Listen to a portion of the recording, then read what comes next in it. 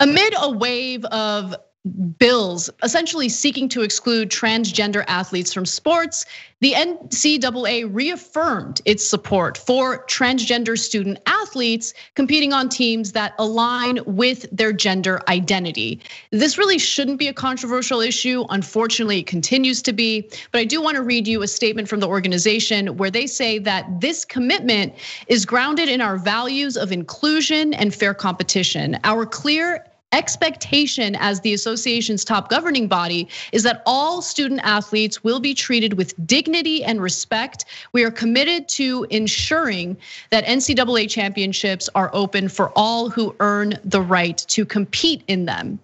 Now, uh, as I mentioned, there are many states that have attempted to pass anti transgender bills. Unfortunately, Arkansas succeeded in passing one just recently.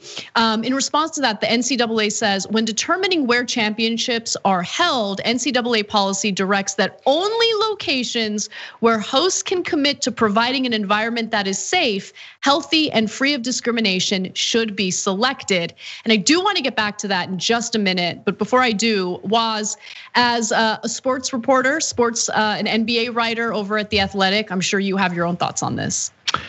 Yeah, you know, I'm no fan of the NCAA. Um, but as you know, the famous saying goes, even the sun shines on a dog's ass, right? Like they finally can do one thing right. You know what I'm saying? Um, and you know, and they've done similar things like this in the past. I think with North Carolina's bathroom bill um, that was anti-transgender, they stepped in and said, "Look, we won't hold certain tournament games or conference tournament games." The uh, the SEC, they said they wouldn't have um, SEC championship games in college football in states like South Carolina and Mississippi, who still had the stars and bars on their state flags. They've they've set precedent like this in the past and stepped in and trying to get the right thing done. This is so clearly um, a non-issue as far as this idea that there's a bunch of trans people just playing college sports and ruining the balance of power for everybody. It's just not true. This isn't a problem that actually exists. It's just a bunch of people fear mongering and pretending that they're aggrieved by something that, again, is just a minuscule amount of people who this actually matters to. Is it's honestly, it's more about getting the message out there that we're not gonna be anti-trans in you know supporting this type of legislation. There's no reason for it right? Like there's no there's no there's no epidemic of a bunch of trans people just taking all the accolades and the glory from everybody in the NC2A it's like these from their fellow student athletes who aren't trans. It's just it's ridiculous. But yes the NCAA for once gets something right so, okay, let's put a pin on the things that it gets wrong because I'm super curious to hear what you have to say about that. Before we get to that though, um, you know, obviously there have been many states uh, that have turned this into a giant issue, right? And so um, 26 states, for instance, uh, 26 state legislatures introduced 41 bills in just the first two months of 2021 to exclude trans youths from teams that align with their gender identity. Three such bills passed in March alone, with proponents of the laws claiming they're needed to ensure fair competition. So, Wos, you just mentioned that this is not even an issue, right? It's not as if there's like this insane prevalence of like, oh, there's all these people who are now identifying as a different gender, and it's it's a non, it's not a problem. It's really not a problem, but uh, usually Republican-led legislatures um, are making it a problem. And so I wanna get your thoughts on that. Why is it that they're so hyper-focused on trans student athletes when it's not really an issue at all?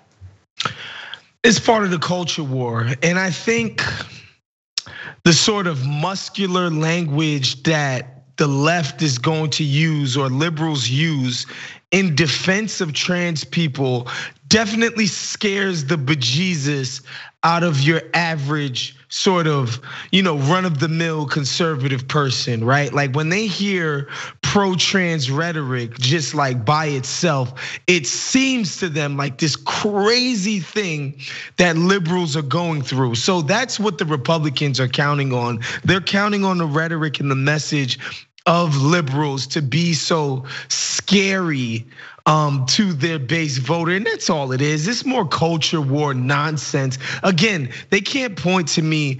Um, and, and let's be clear we're not this legislation isn't aimed at people who were i guess born with the body parts of a woman and self-identify with being a man, right? Um, no, they're talking about the reverse. They're fear mongering mm-hmm. about this idea that people who they consider to be dudes are playing in women's sports, and Susie and Carol are getting screwed out of all of their accolades by these dudes. Again, their words, not mine. Um, and again, you can't point to me in the fields of track and field or water polo or swimming or basketball or soccer or show me the NCAA sport where you know people who were born um, with women um, body parts and self-identify as women, um, where they're just getting screwed over left and right by these trans people. They, you can't point to any actual tangible um, evidence of this, and it's just fear mongering that in the future a bunch of dudes are just gonna. It's just it's ridiculous. It's it's ridiculous. So um, I said I would get to Florida because Florida was considering its own anti-trans uh, legislation, and um, Politico reports that while not mentioning Florida by name, the statement from the NCAA Board of Governors comes just one day before the House in Florida, of course, is slated to take up its proposal, clarifying that female sports teams are specifically for biological women and girls. State lawmakers were quick to criticize the NCAA's take on the issue. But it appears that they've backed away from a vote on that legislation, with the full Florida House set to consider its transgender sports ban Tuesday, meaning today. Senate leaders late on Monday opted to withdraw the upper chamber's proposal from an upcoming agenda. Senator Kelli Stargel or Stargel, uh, the Lakeland Republican who sponsored FLSB 2012, uh, is pulling the bill from Wednesday's busy Rules Committee meeting. Senate spokesperson uh, Katie Betta tweeted on Monday. So it looks like they're backing out because these team sports tend to also, I mean, I don't, I don't want to say something that's incorrect, but my understanding is these types of events usually bring in some money, right? Yeah, no, of course. Events? They're economic yeah. like boons for any of these places. Like if you get an NC, if you get a SEC football championship game in your city, uh, that's going to be tons and tons and tons of revenue. Plus, there's sort of like, and I think another thing that people underestimate, there's sort of a cultural um, sort of cachet to having a huge sporting event in your city. People feel better. They feel like their city is worthy of something when they have these events. Like outside of the economics of it, there's just something about having these huge sporting events in the city that you live in, whether it be something like, you know, a Charleston, South Carolina, or an Oxford, Mississippi, whatever. Like there's something to that, that we're big time enough to host such a huge event that's gonna be viewed, widely viewed out in the country. And, you know, and and again, of course, paired with all the money that pours in when these events are in your town, from hotels to restaurants to bars to everything you know associated with a huge sporting event. So it's both of those things. People like the clout of having a major sporting event in their city, and of course, there's money involved. Thanks for watching The Young Turks. Really appreciate it. Another way to show support is through YouTube memberships. You'll get to interact with us more. There's live chat emojis, badges. You've got emojis of me, Ana, John, JR. So those are super fun. But you also get playback of our exclusive member only shows and specials right after they air. So all of that, all you gotta do is click that join button right underneath the video. Thank you.